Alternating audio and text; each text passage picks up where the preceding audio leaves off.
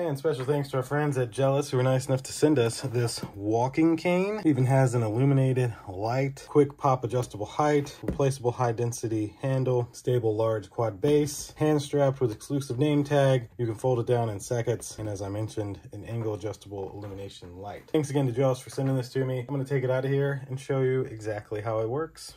So here's our walking king, A little bit of assembly required, but we have it all together. Instructions, they include the wrench and Allen wrench needed, some extra handle pads, and even a little carrying case. And then here it is, all put together. So essentially, you're able to, you know, walk with it, of course.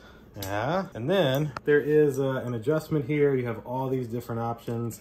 So you can go as tall as this, which that's pretty tall. That'd be like for a six foot five person or something. Or you can even go as low as this. So that'd be for like, you know, five foot person or so. There's also a uh, nice little hand strap if needed. And when you go to fold this up, use the strap to button it and have it more compact. Also, you can put your name, phone number, etc. on the strap. And then lastly, it has a light. The batteries are included nice bright light for either down or straight. Basically, so when you're walking, it could be pointed at the ground or you could have it pointed in front of you.